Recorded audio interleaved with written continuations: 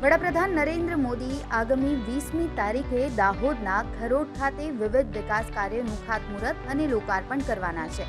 ત્યારે આ સંદર્ભમાં કલેક્ટર તથા તંત્ર દ્વારા કરવામાં આવેલી વ્યવસ્થા અંગે માહિતગાર કરવામાં જિલ્લા સેવા સદન ખાતે પત્રકાર પરિષદ યોજવામાં આવી. આદિજાતિ મહાસંમેલનમાં પાંચ આદિજાતિ જિલ્લાઓમાંથી મોટી સંખ્યામાં લોકો સહભાગી થવાના છે. જેમાં દાહોદ, છોટાઉદેપુર, પંચમહાલ, મહીસાગર સહિતના વડોદરા ગ્રામ્ય વિસ્તારમાંથી પણ નાગરિકો સહભાગી થશે.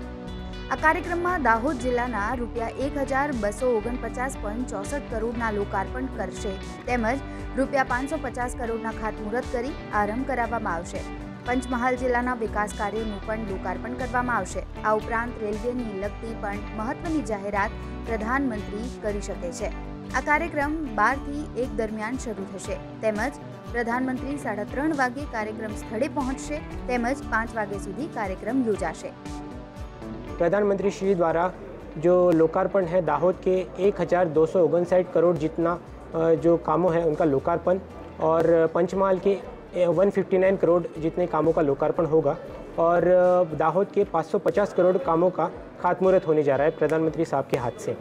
तो इसमें जो हम लोग ये प्रोग्राम में जितने लोग आने वाले हैं, हम लोग एक्सपेक्ट कर रहे हैं कि काफ़ी मोटी संख्या में लोग आने वाले और इसके लिए हमने काफ़ी एक बड़ा पब्लिक आउटरीच प्रोग्राम भी रखा था, जिसमें हमारी डी श्री ने काफ़ी ज़्यादा मेहनत की है। और हमारी सिक्योरिटी के लिए भी एसपी साहब ने काफ़ी अच्छी व्यवस्था करके रखी है।